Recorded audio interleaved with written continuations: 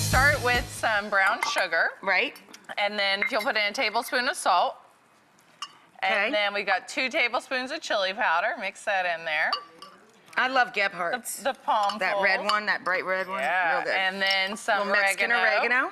About a teaspoon of that. And then we've got onion powder, garlic powder, and cayenne pepper. Teaspoon So, each? About a half teaspoon, teaspoon, you know, whatever your taste buds like. And you know, you can kind of play around with this. If you like it really spicy, add more cayenne. If you don't, then just leave it out. And then you just put it on these ribs and really like rub it in and get it on there. I'll massage your ribs any day, baby. Massage them. Yes, and you get all that good flavor. I like. Now, Katie, do you let these set overnight or a couple yeah, hours or yeah. what? So you put them in the fridge, let them go at least four hours. You can do overnight. I've got some in here that have already marinated. Dry rub. Dry rub. Right? And they come out looking like this. Beauteous. All good.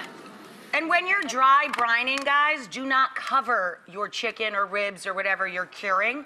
You leave it uncovered in your fridge on the lowest part of the fridge, and that's what helps really get that meat nice and tender and get you good crust Takes on. out that moisture. Yeah. Right. You can't trap in the moisture with the with the plastic and get the same effect. She knows. All right, so I'm gonna use a baking dish here and put in some chicken broth and a splash of apple cider vinegar. I always think with ribs, you gotta have apple cider vinegar. I agree. You need that tang. I agree. And then you take the ribs and you put them right in here, just like that.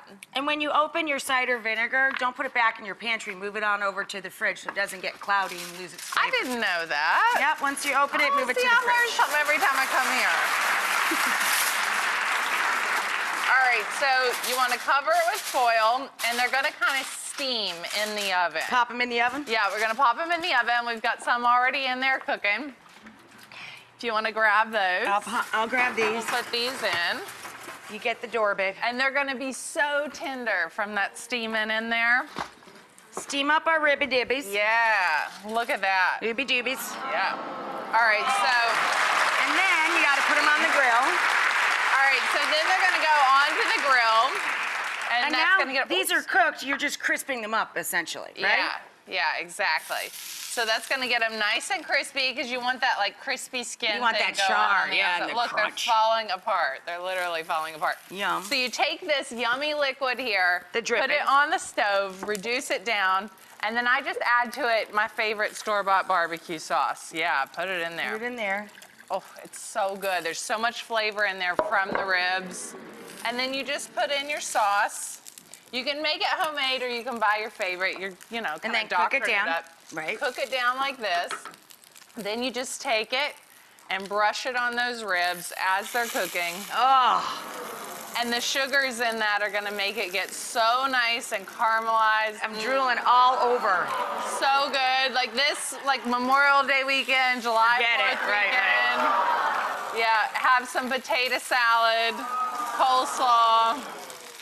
Boy, you guys are, you know, hungry around here. God.